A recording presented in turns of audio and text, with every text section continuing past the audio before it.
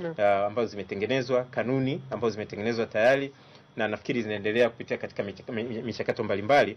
Nadhani kwamba mtakapomuita ndugu yetu uh, mkurugenzi wa utangazaji uh, Fredrick Ntobi, nadhani kwamba hili anaweza akaeleza vizuri sana, lakini eh, nafahamu kwamba uh, ziko kwenye michakato na soon and very soon natumaini kwamba kamati ya maudhui ita, itakuwa pia ina regulate uh, online na, content. Ni, ni kushukuru sana Derek kwa kushirikiana nasi katika Jambo Tanzania, na bado tuna mengi ya kuzungumza na Derek katika tasnia hii, lakini na kuahidi tutamwalika wakati mwingine ili kuweza kuweka mambo sawa, ikiwemo huu mswada wa maudhui ya uh, social media. Na tupate mapumziko mafupi kabla hatujaungana na wanahabari wenzetu katika kuzungumzia siku hii ya uhuru wa vyombo vya habari duniani.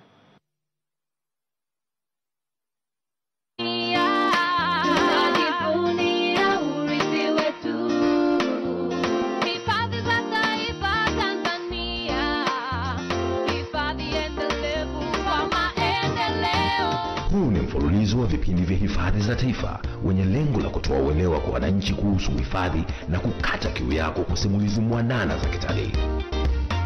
Utafahamu kuhusu hifadhi za taifa na jinsi ya kuvifikia vivutio vilivyopo. Utaelimika, utaburudika na kutalii.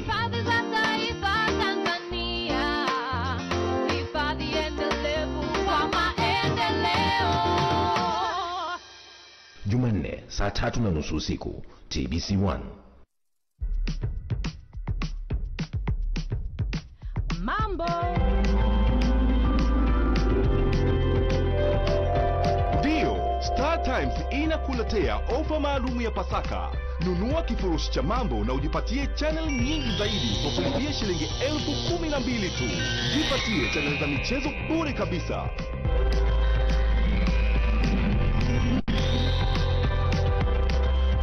Pia kwa kulipia kifurushi cha mambo utajipatia vipindi vingi zaidi vya kifurushi cha uhuru kwa wiki nzima katika kipindi hiki cha Pasaka. Ni rahisi, sema mambo na upate uhondo zaidi. Mambo. Ofa hii ni kwa watumiaji wa dikoda na dish. Kwa watu wa dish, lipia kifurushi cha smart kupata kifurushi cha super. StarTimes, ulimwengu halisi wa kidijitali.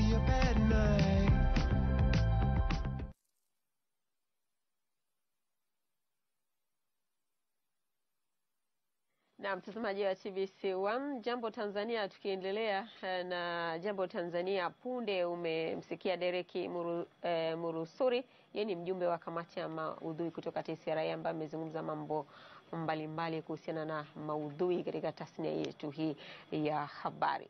Mara hii tena ninao eh, Cecilia Jeremia, yeye ni mwandishi wa habari kutoka Radio Uhuru. Karibu katika Jambo Tanzania.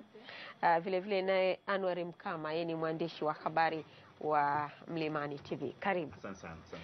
Naam, hawa ndio tutakao uh, kuwa nao katika awamu hii ya pili katika kuzungumzia uh, siku ya uhuru wa vyombo vya habari duniani ambapo nasi kama Watanzania wenye e, tasnia hii tukijadili masuala mbalimbali uh, katika tasnia hii. A, kwa kwanza tungependa kufahamu e, ili chimbuko la uhuru wa vyombo vya habari Anuari. Naam. Ni, ni, ni siku muhimu sana na ni siku ambayo dunia nzima tunakumbuka kwamba ama tuna tunaadhimisha uhuru wa vyombo vya habari, na kama tunavyojua nchi nyingi sana wanasema vyombo vya habari ni kama muhimili muhimili wa nne wa, wa dola, na hii inatokana na umuhimu, kwa sababu vyombo vya habari ndivyo ambavyo vinaunganisha serikali, lakini pia vinaunganisha na, na jamii, yaani wale walioko juu na wale walioko chini, tunasema wale ambao wasio na sauti hawana sauti ya kupaza mpaka wakubwa huko wasikie, na sasa katikati yao kipo nini? Kipo chombo cha habari. Kwa hiyo tunakumbuka hizi harakati toka tulipotoka huku, na vyombo vya habari vimechangia harakati nyingi sana. Ukiangalia wenzetu huko miaka ya nyuma, toka mapinduzi ya viwanda, tumekuja wakati wa ukoloni, wakati wa utumwa, tumekuja wakati wa kupambania kupambana uhuru wa nchi za Afrika, lakini pia nchi za huko Asia na nchi za Marekani ya Kusini, Caribbean huko, na mpaka sasa hivi tumepata uhuru na tunaendelea, na vyombo vya habari vina mchango bado mkubwa sana wa kusukuma mbele gurudumu eh, la taifa lolote vile. Kwa hiyo taifa bila vyombo vya habari ni taifa naweza nikasema ambalo haliishi, eh, ni taifa mfu. Naam. Uh, huo ni utangulizi tu, na siku hii ya uhuru wa vyombo vya habari, nyinyi kama wanahabari mko katika tasnia hii, mnatazama vipi uh, swala zima hili la uhuru wa vyombo vya habari nchini Tanzania uh, katika kuchochea maendeleo ya nchi?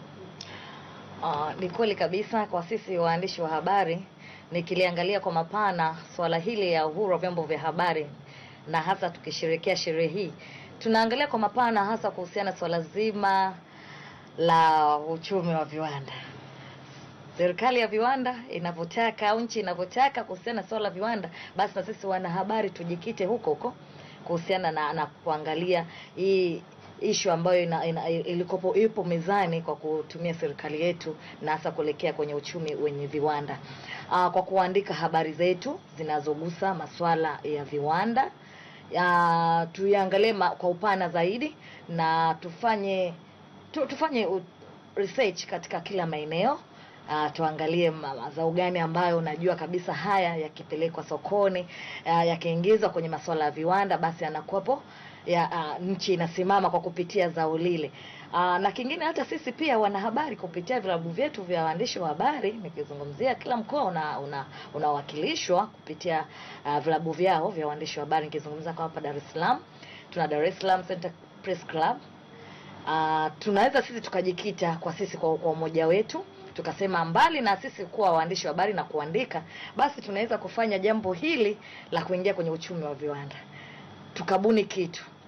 Kile kikaingiza mapato katika klabu yetu, tukaingiza mapato katika nchi na jamii ikapata kile ambacho tunachostahili kukifanya, mbali tu na kuwashirikisha wadau katika masuala hayo. Kwa hiyo na sisi pia tuwe wamoja kati ya wana wa, wadau wakubwa wa kuendeleza hii swala la viwanda nchini. Lakini uh, waandishi wa habari ni kama daraja kati ya uh, serikali na wananchi, mnasimama katikati. Katika kuhakikisha upande huu uko salama na upande huu uko salama. Lakini uhuru ambao mmepewa waandishi wa habari mmekuwa mkiutumia ndivyo sivyo, yale ambayo unasema kwamba uh, tunaweza tukaandika habari za kuelimisha jamii kuhusiana na, na, na hii ajenda ya sasa hivi ya kuingia katika uchumi wa viwanda. Anuari, uh, nini mtazamo wako? Waandishi wa habari wamepewa uhuru wa kuweza kuandika vitu ambavyo vinaweza kuchochea maendeleo, lakini hawaitumii ipasavyo. Wanaandika vitu tofauti ambavyo uh, mara nyingine vinachochea amani. Naam, na labda niseme eh, si, si, tusi, tusifunge kabisa kwamba hawatumii ipasavyo eh, kwa sababu kuna wengine wanatumia ipasavyo na tumeona uh, mambo mengi sana. Kuna mambo hapa nyuma yalipita ya, ya ufisadi kama unakumbuka, vyombo vya habari vilifanya kazi kubwa sana ya kuweza ku- ku- ku- kuiambia serikali e, kwa sababu vyombo vya habari ni kama vile tunasema, wazungu wanasema ni watchdog, kwamba wana- wanaiangalia serikali kwamba hapa mmekosea. Kuna hili la ufisadi na yalipita ya, ya katika kipindi cha katikati hapa, na tukaona serikali iki- ikichukua hatua kali na ikijiwa iki, iki, nikisema iki- iki- ikiwachukua hatua kali kwa wale ambao walitumia wali, wali na swala zima la, la, la swala hilo la ufisadi. Kwa hiyo kuna watu ambao wana, wana, wana, wana, wanafanya hivyo vitu, tunaona kabisa kwamba kuna vyombo vya habari vinafanya kazi nzuri sana katika eh, kulifanyia kazi hilo swala lilosema la, la, la, la ku- kuripoti habari muhimu, lakini sasa changamoto inakuja ni kwamba eh, vyombo vingi vya habari tumekuwa tukiripoti matukio, kumekuwepo na changamoto kubwa, na hasa hii inakwenda katika vyuo vyetu. Nadhani kuna haja ya kuwafundisha waandishi wa habari namna ya kuripoti matukio uh, kama haya sasa ya kubeba ajenda za serikali, kwa sababu watu wanapoingia vioni tunaambiwa kuna nadharia mbalimbali Hmm. nadharia kwamba vyombo vya habari vinatakiwa pia viseti ama vitengeneze ajenda zao. Sasa tumekuwa na changamoto hiyo, habari ku, habari nyingi zimekuwa ni za matukio sasa. Kwa hiyo ina maana changamoto inarudi pale kwenye vyo, lakini pia hata sisi waha- wahariri inabidi pia wajiangalie kwamba kuna haja ya kubeba ajenda. Sasa hivi kuna changamoto moja kwamba tumekuwepo tukichukua ile kile kinachoendelea katika mtandao wa kijamii na sisi pia tukikihamishia pia muda mwingine katika vyombo vyetu hivi vikubwa, yani nazungumzia mainstream media. Sasa hiyo ni changamoto kubwa sana, kwa sababu tumekuwa tukipelekwa pelekwa na mitandao ya kijamii, na hii imekuja siku za hivi karibuni. Vyombo vya habari vimekuwa kutoka miaka hiyo. Kwa hiyo nadhani kuna haja sasa ya, ya, ya, ya, ya kufundishana, lakini pia kuna haja ya wahariri wakae pamoja, waseme jamani, kuna ajenda muhimu. Amezungumzia hapa dada yangu kwamba eh, kuna ajenda kuelekea uchumi wa viwanda. Tuna- tunaifanyaje hii ajenda, tunaienda vipi? Lakini pia hii ajenda Nilimsikia Derek akizungumza jinsi Marekani wanachukua ajenda zile wanazirahisisha mpaka mtu wa China anazielewa na anajivunia umarekani wake. Sasa hata sisi hii ajenda ya uchumi wa viwanda mpaka mtu wa chini yani mtu wa chini kabisa anaelewa ah, kumbe ni uchumi wa viwanda na inamuingia kichwani kwamba inabidi tu, tu, nifanye hiki nishiriki hivi ni, tuelekee katika uchumi wa viwanda kiurahisi, si katika hali ya kumboa. Sasa hii ni kazi ambayo inabidi tuifanye, lakini pia kuna haja ya walimu wetu hawa wanaofundisha fani ya uandishi wa habari na mawasiliano kwa umma wawafundishe waandishi wa habari wanaochipukia namna ya kubeba hizi ajenda, isiwe tu tunachukua nadharia za nadharia nadharia za darasani, lakini tunashindwa kuzitumia na tunapelekwa na matukio. Anwar, umegusia swala la uh, mitaala tuseme katika tasnia yetu hii ya habari kwamba mitaala ambayo inafundishwa iendane na hali halisi ya mazingira. Uh, mnalichukua kiasi gani baada ya kugundua kwamba kuna mapungufu hayo, na nyinyi mmetoka huko, Naam. mnalitekeleza vipi na kuachana na habari za kuandika matukio? Kuna habari nyingi ambazo zina, zinatokea. Kuna wananchi huko ambao wako uh, vijijini wanahitaji kupata habari, lakini habari tunazowapa zinawabadilisha na kuleta matokeo chanya. Naam, ni, ni, ni swali zuri sana na ukiangalia sasa e, ni kweli ni, kuna changamoto bado, si vyombo vingi ambavyo vina, vina, vinafanya kama unavyosema e, kufanya habari za uchambuzi. E, kwa sababu hivi sasa habari nyingi zinatoka kwa haraka haraka. Na tunampa mtu kitu ambacho muda mwingine ni, ni, ni habari ambayo anashindwa hata mwenyewe kuifanyia uchambuzi, hatumrahisishie, japo kuna wengine wanafanya hivyo. Kwa hiyo ipo haja hivi sasa ya kufanya zaidi habari za uchambuzi, ku- ku- ku- kuwatafuta zaidi wataalamu wa kuelezea kwamba kuna hiki na hiki na hiki, na kwa mtu wa chini kabisa anafanyaje. Labda nikupe nikupe habari moja. Kuna wakati wa ufisadi watu walisema kiwango ambacho ki, pesa zimetumiwa ukitandaza noti zake zinaweza zikafika sehemu fulani. Sasa ile mtu anaelewa ni kwa kiasi gani. Kwa unasema tunasema labda uchumi wa viwanda tume tume tume tumefanyika uzinduzi wa reli hii hivi karibuni, reli ya kisasa zaidi. Hii reli ya kisasa zaidi tukiweka mizigo yetu itafika kwa wakati gani na itamfikia mfanyabiashara wa sehemu fulani yuko Mwanjelwa kwa haraka kiasi gani? Kwa hiyo unaweza kuona kwamba vitu ambavyo tunatakiwa tuvifanye hivi sasa ndio hivyo, lakini sasa e, bahati mbaya nadhani nikasema kwamba kama nilivyosema hapo awali kwamba tumekuwepo tukiripoti habari za matukio, lakini kuna wengine taratibu tunaanza kubadilika, watu wanaanza kubadilika, na unaweza kuona hata kusoma magazeti mengine watu wanafanya uchambuzi mzuri, uchambuzi hata wa data, niseme zile habari za kimahesabu siku hizi zinarahisishwa, mtu anazielewa kabisa. Vyombo vyetu vya television pia vimekuwa vikiwatumia wataalam wakifanya uchambuzi zaidi, na huo ndio uhuru ambao tunapaswa kuutumia hivi, na sio uhuru ule kuripoti mtu kazomewa, mtu kafanywa kitu gani. E, nadhani kuna kuna kuna haja pia kubadilika. Sawa, tuna haja kuripoti kwa sababu sisi e, unavyojitazama kwenye kioo na ndivyo unavyojiona, ndivyo vyombo vya habari tunavyoamini hivyo. Sasa lakini sasa pia inabidi tu, tu, tu, tu, tu, tujibebe sisi. E, tujibebe sisi kwa namna moja au nyingine kama taifa, na tubebe zile ajenda za msingi ambazo tutalisaidia taifa na tutaisaidia pia kuinua hali ya, hali ya uzalendo, na hii naona ambayo ni changamoto kubwa sana, kwa sababu tunajua kuna watu tunakaa sababu ni bora mimi nimezaliwa Marekani, lakini hiyo Marekani ni bora, kuna kitu kimejengwa kule Marekani ndicho ambacho wewe kinakufanya utamani kuishi kule, lakini hiki kitu pia tunaweza tukakijenga sisi huku, na vyombo vya habari vina mchango mkubwa sana katika hilo, kuinua uzalendo wa, wa, wa taifa, lakini pia kubeba ajenda za, za msingi. Naam, kupitia uh, umoja ambao ameutaja ame, uh, uh, Cecilia uh, ajenda iliyopo sasa ni uchumi wa viwanda yeah. eh?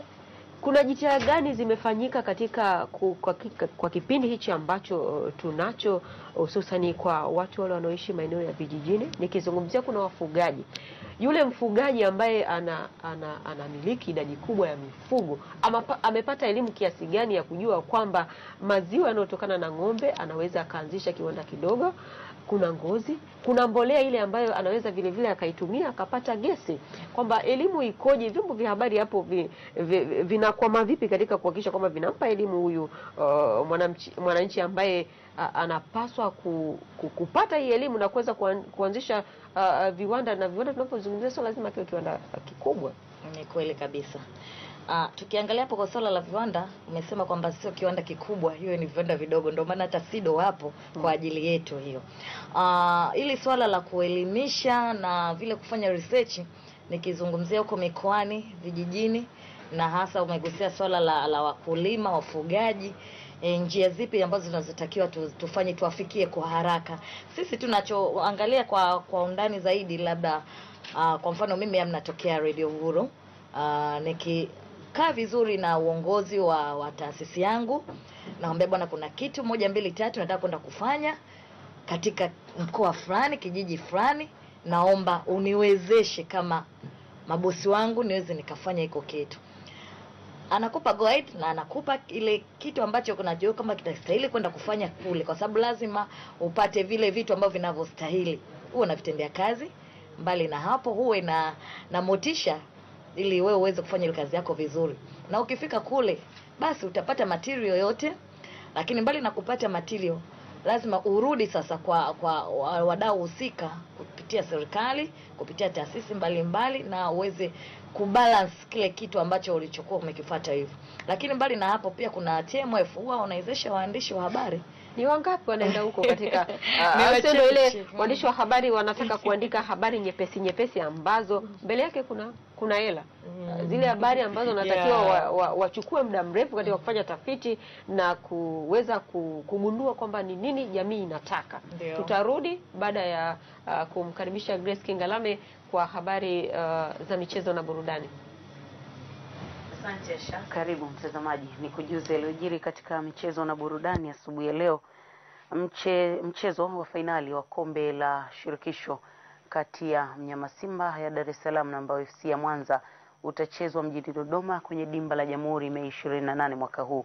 Rais wa shirikisho la soka hapa nchini Jamal Malinzi amesema fainali hiyo itafanyika uwanja wa Jamhuri, kwani uwanja huo unakubalika na TFF pamoja na kuondoa mvutano wa vilabu kutaka kila mtu kutaka timu yake kutaka uwanja wake wa nyumbani. Kwa hiyo TFF tumeamua kwamba mchezo wa fainali wa kombe la shirikisho mwaka huu utafanyika kwenye uwanja wa Jamhuri mjini Dodoma. Hiyo huu ni uwanja ambao ni neutral kwa timu zote mbili, na tunaamini kwamba tutakuwa timu zote mbili zimezitendea haki, lakini pia ni faraja kwa wanadodoma ambao sasa hivi wako katika eh, eh, katika mchakato mkubwa sana wa kuhamisha makao makuu ya nchi eh, ya serikali kuyatoa Dar es Salaam kuleta Dodoma. Kwa hiyo ni fursa nzuri pia ya mpira wa Tanzania kwa maana ya shirikisho la mpira wa miguu Tanzania kuonyesha support kwa move hii ya serikali ya kuhamia Dodoma. Hii ni mara ya kwanza kwa timu hizo kukutana kwenye fainali ya kombe la shirikisho tangu kurejeshwa tena kwa michuano hiyo msimu uliopita, na bingwa wa michuano hiyo atawakilisha nchi kwenye michuano ya kombe la shirikisho barani Afrika mwakani elfu mbili kumi na nane. Timu ya Yanga imeifunga timu ya Buseresere FC ya wilayani Chato mkoani Geita mabao matano kwa bila katika mchezo wa kirafiki. Mchezo huo umechezwa katika uwanja wa shule wa sekondari Waja na timu ya Buseresere inacheza ligi daraja la tatu mkoa wa Geita. Mwanamichezo wetu Nazareth Ndekia na taarifa kamili. kipindi cha kwanza kupitia kwa mchezaji wake Deus Kaseke.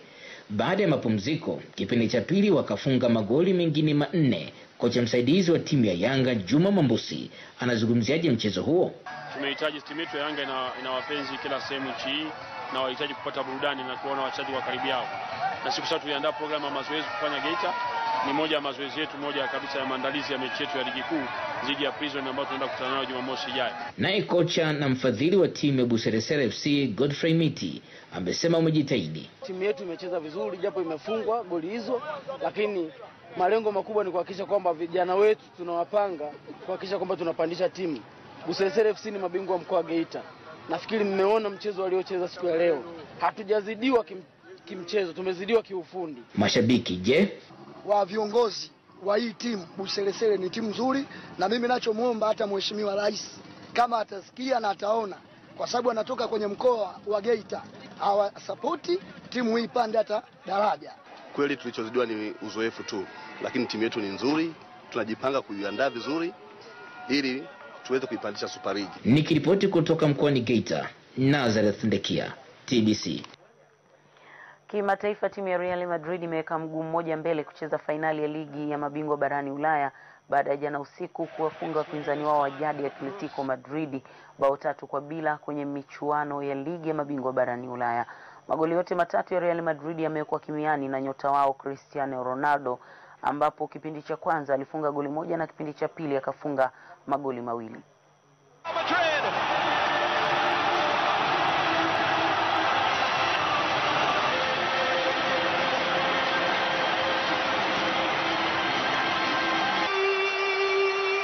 Well, they nearly got in on the right side moments ago. Then on the left, from the ensuing corner kick, they kept it alive.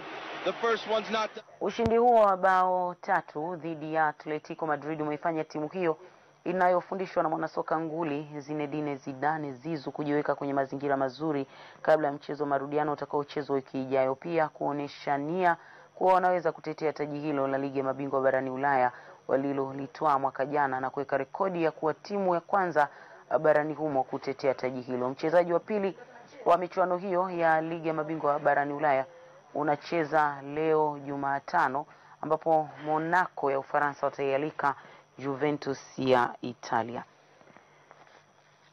Tamati ya habari za michezo na burudani ni kujuze magazeti yameandika nini, halafu nitakurejesha kwa shahaji kwenda kuendelea na jambo Tanzania. Nikianza na gazeti la Habari Leo, habari kubwa inayosomeka kwenye ukurasa wake wa mbele imeandika NECTA aitupia mpira utumishi vyeti feki. Katibu mkuu utumishi kutoa ufafanuzi leo. Waathirika walalamika kuto kusikilizwa. Aliyedaiwa amekufa Rukwa kutwa akichunga ng'ombe. Ndalichako akemea walimu wanaoshinda kwenye WhatsApp. Ni habari kubwa zilizoandikwa ukurasa mbele wa gazeti la Habari Leo, na habari picha yamwonyesha Rais Dr. John Magufuli akilakiwa na wakuu wa wilaya za mikoa ya Dar es Salaam walipokuwa wakiwasili jana kwenye uwanja wa Julius Nyerere jijini Dar es Salaam wakitokea mkoani Kilimanjaro. Ni gazeti la Habari Leo. Gazeti la Uhuru, habari kubwa inasomeka kigogo dawa za kulevya ondolewa nchini, serikali kusambaza chakula kukabili uhaba. Habari nyingine kubwa kwenye ukurasa wa mbele wa gazeti hili, lakini kuna habari inayoandikwa ikisomeka JPM wavutiwa na mapokezi Kilimanjaro, mambo yazidi kuibuka sakata la vyeti feki, Halima Mdee mtegoni, kisa kauli dharau, Makonda asamehewa. Ni gazeti la Uhuru asubuhi ya leo. Gazeti la Mwananchi, mfanyakazi bora kigogo wanasa vyeti feki, huduma ofisi ya posta Kahama, hospitali ya rufaa Morogoro za dorora, wabunge wa CCM na Ukawa walivyoungana kumnusuru Halima Mdee, ugali na maharage ulivyopiku utawala wa wali na nyama nchini. Maalim Seif asema si rahisi kuifuta kafu. Ni habari kubwa zilizoandikwa ukurasa wa mbele wa gazeti la Mwananchi. Gazeti la Mtanzania, habari kubwa inasomeka vyeti feki vya zua kizaza, Shikuba apelekwa Marekani kimafya, masimulizi ya padri aliyefunga ndoa Dar es Salaam. Habari nyingine iliyopewa uzito kwenye gazeti la Mtanzania. Tugeukie kurasa za michezo, nikianza na gazeti la Habari Leo. Habari kubwa ya kimichezo inasomeka Simba Sports Club Mbao FC wapelekwa Dodoma, pointi za Kagera, Simba bado zogo. Gazeti la Uhuru ukurasa wake wa michezo umeandika Simba Mbao kufia Dodoma, Himidi Mao atimka Azam, Griezmann kuifilisi Man United, Ozil aipasua Arsenal, Aguero aibua hofu. Habari kubwa za kimichezo kwenye gazeti la Uhuru.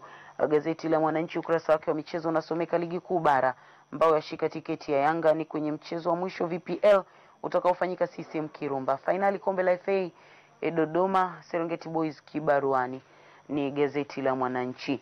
Gazeti la Mtanzania, habari kubwa ya kimichezo imeandika hukumu ya Simba ambao FC Dodoma Mei 28. Himidi waenda aenda majaribio nchini Denmark. Chama anyosha mikono juu ya suala la rushwa. Gazeti la Champion, habari kubwa imesomeka rekodi za Simba Dodoma Jamhuri machinjioni. Dalali ya kumbushia kombe la Nyerere Pawasa nyuki wabunge watajwa. Ronaldo afanya yake Real Madrid ma yaichapa Atletico Madrid. Mrithi wa Zulu wataka gari nyumba Yanga. Kotei Kiboko azoa tuzo za Yanga Sports Club. Ukurasa wa nyuma gazeti limeandika Ronaldo awachinja Atletico. Gazeti la Dimba ukurasa wake wa mbele unasomeka Simba njia nyeupe fei ya Afik fainali kupigwa Dodoma. Kamati ya undwa kuzima hujuma.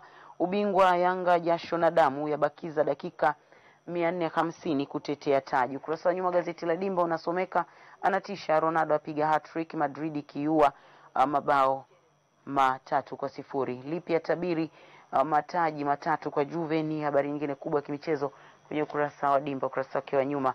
Kwa muhtasari, ndivyo ilivyoandika magazeti asubuhi ya, ya leo. Natazama Jambo Tanzania na kurejesha kwa Asha Haji. Naam, bila shaka wanaendelea kutazama Jambo Tanzania, mtazamaji wa TBC. Tunaendelea na Jambo Tanzania. Uh, tulipata mapumziko mafupi kwa kupata habari za michezo pamoja na dondoo za magazeti kwa kifupi. Turejee kwenye mada mm -hmm. siku ya uhuru wa vyombo vya habari. Uh, kabla ya Grace haja hajatupatia habari hizo za michezo pamoja na magazeti Eh, niliuliza kuhusiana na swala la uandishi wa habari uh, kuandika habari nyepesi nyepesi na habari zenyewe uh, zikiwa zimetangulishwa zimetanguliwa na bahasha.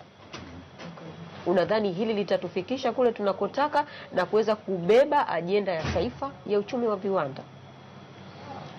Uh, kwa upande wangu mimi naona hilo alitotufikisha sehemu yoyote, kwa sababu tukiangalia ah, kwamba mpaka tuwezeshwe kwamba tupatiwe kitu basi ndo tufanye kitu ili tulete jambo kwa jamii, na kuwa kwetu yaani mimi kwangu linaniwia vigumu sana kwa kweli. Hilo mimi nitalipinga, nitalipiga vita kwa asilimia kubwa. Cha msingi kinachopaswa sisi wanahabari tuangalie ile habari imebeba taswira hipi katika jamii, katika nchi, alafu tuidadavue tui- kwa undani, tuifanyie kazi, ili tunapopeleka jambo au neno kwa mwananchi akalisoma, akalisikia, akaliona, basi yeye mwenyewe mwananchi atasema kweli, ili jambo ni la msingi na ninapaswa mimi kuendana na moja mbili tatu, kwa sababu vile vipengele vimemgusa yeye moja kwa moja. Lakini tukiangalia tu upande wa pili kwamba mpaka niwezeshe afu nimtengenezee ni, ni yule mtu story ya kuendana na, ya- na, na, na focus yake ya kitu chake anachokihitaji, kwa kweli tutakuwa tujamtendea mwananchi kile anachokihitaji, tutakuwa tumemnyanyapaa na tumemdidimiza. Mimi naona hilo la fedha, alafu ndo utoe ile story, no, nakataa. TMF ipo, lakini waandishi wa habari wanaitumia vipi katika kupata uh, fursa za kuweza kutembea katika maeneo mbalimbali na kuweza kuwasilisha hii ajenda? mi naona sisi wenyewe tumepoa vipi. TMF ipo na e, kila siku napigia kelele, sisi wenyewe tumekuwa vivu kuwa karibu nao kwa kupeleka jambo letu la kutaka nini kifanyike katika jamii.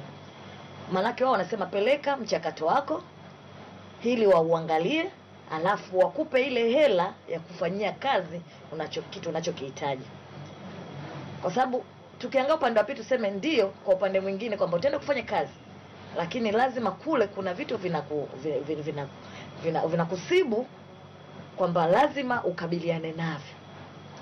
Kwa hiyo sisi wenyewe kama mimi mwanamke nahitaji kwenda ku, ku, ku, kufanya kazi yani ku, kwa, kwa kwa wanawake wenzangu kumfanyia research yule mwanamke ambaye ni wa, wa kijijini amebuni ame, ame, vitu vyake, nikizungumzia swala la kuwa ana mifugo mingi, lakini hana uweledi wa kujua kwamba ile mifugo ndio itakaoweza kumpatia ma, ma, maziwa ambayo yale maziwa apeleke wapi.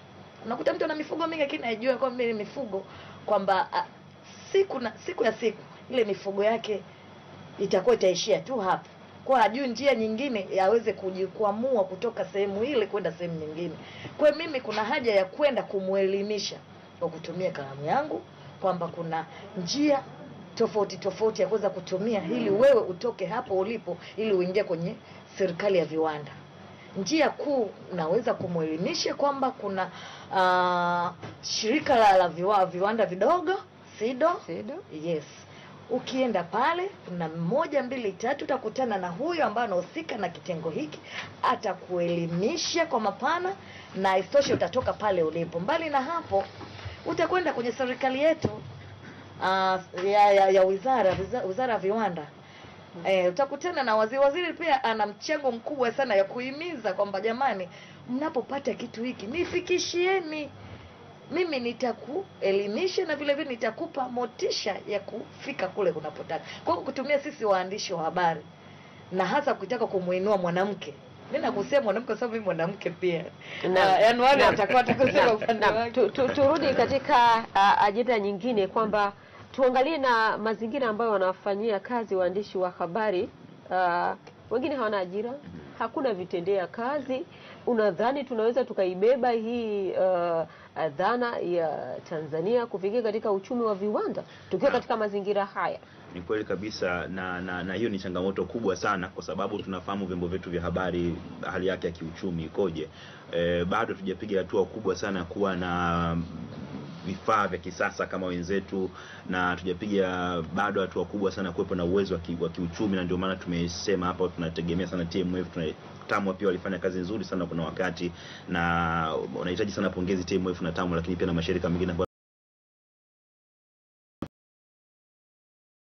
tuna, tuna, tuna uwezo huo, mimi naweza nikasema bado ni changamoto kubwa, na watu wanaweza wakajiuliza, tulikuwa tuna- tunazungumza hapa, hawa watu ambao wanabeba ajenda hii ya uchumi wa viwanda nao wako wapi? Kwa sababu unaweza ukasema sisi waandishi wa habari tuibebe hii ajenda, lakini wametuwezesha.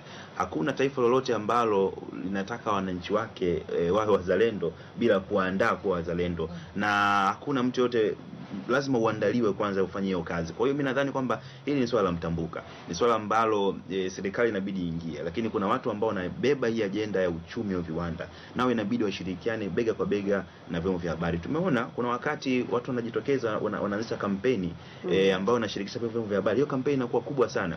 E, hata pia katika michezo katika sehemu katika vitu mbalimbali. Sasa hii hii hii ajenda uchumi wa viwanda, mimi nadhani wakubwa inabidi waangalie namna ambavyo wanaweza wakafanya kazi na vyombo vya habari na wakakaa na wakubwa wakubwa wetu wakasema, jamani, tunataka tuende huku, tunende huku, tunafanyaje?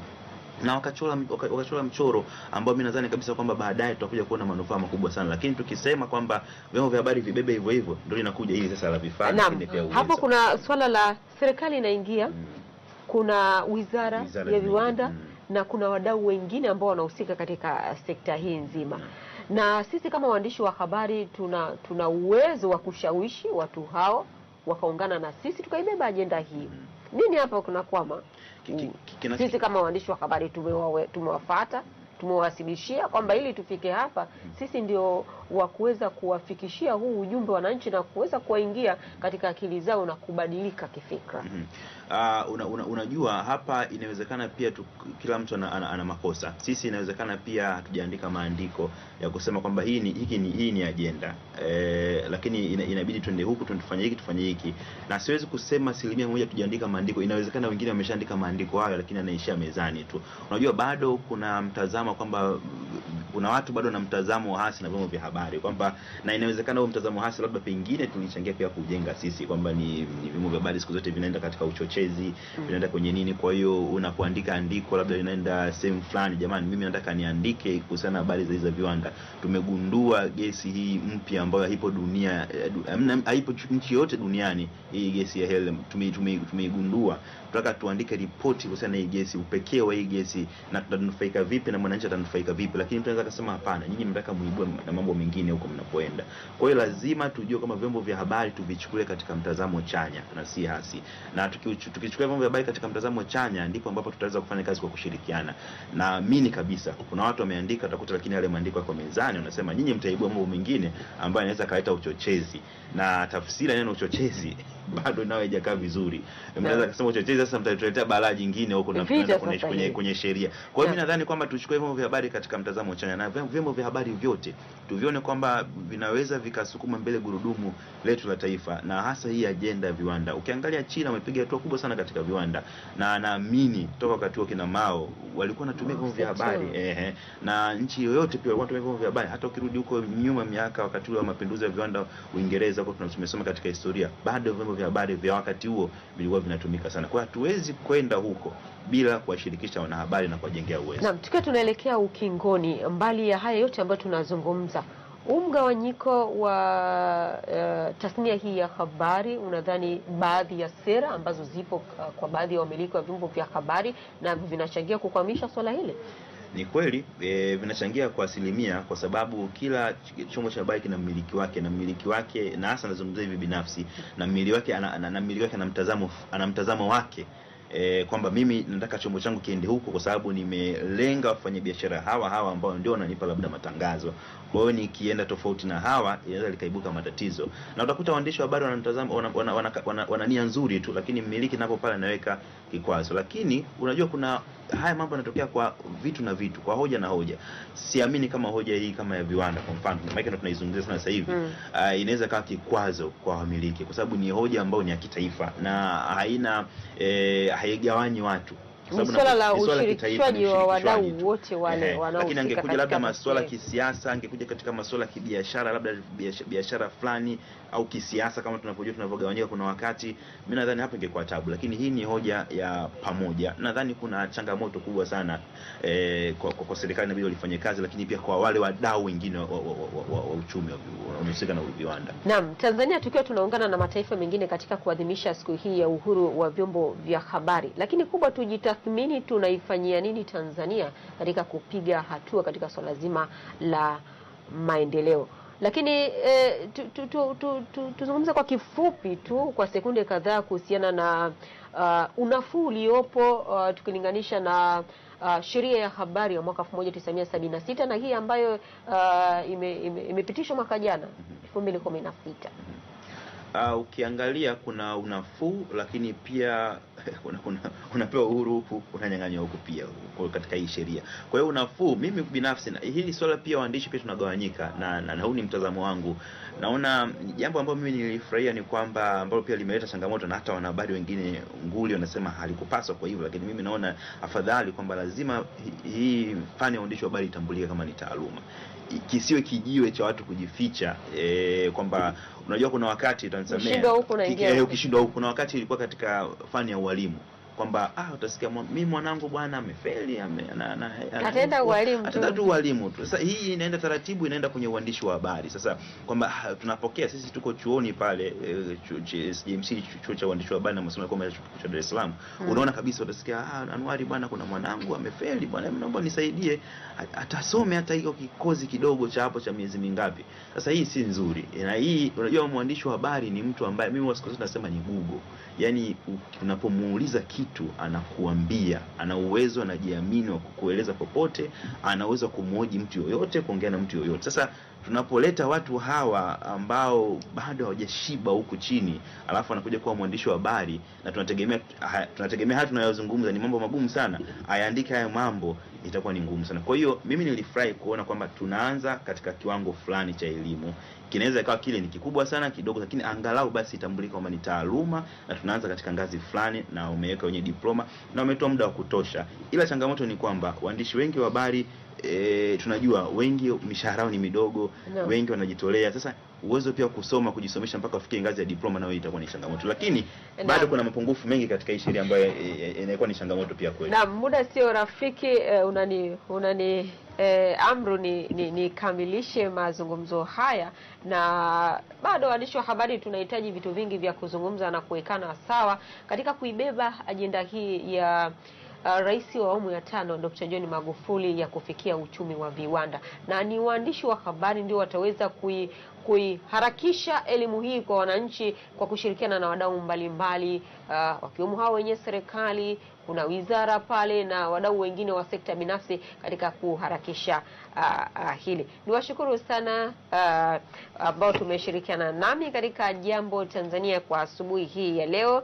Uh, nilikuwa na mgeni Dereki E, Murusuri yeye ni mjumbe wa kamati ya maudhui ambaye awali tulizungumza naye kuhusiana na uh, swala zima la maudhui e, kupitia TCRA katika tasnia yetu hii ya habari. Lakini ni uh, awamu nyingine ni Anwar Mkama ambaye ni mwandishi wa habari kutoka Mlimani TV na Bi Cecilia Jeremia ni mwandishi wa habari kutoka Radio Uhuru, pamoja na mwenzangu ambaye nimeshirikiana naye Grace Kingalame. Mimi ni Asha Haji, ni kutakie siku njema, lakini waandishi wa habari tutumie kalamu zetu na kauli zetu katika kufikisha kile ambacho kinapaswa kufikishwa katika jamii yetu. Asante.